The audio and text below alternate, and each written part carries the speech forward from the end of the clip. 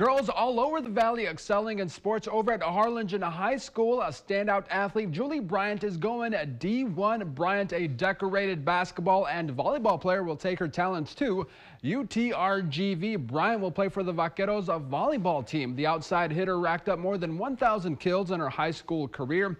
Bryant signing her letter of intent in front of friends and family. She says going D1 has been her goal from the get-go.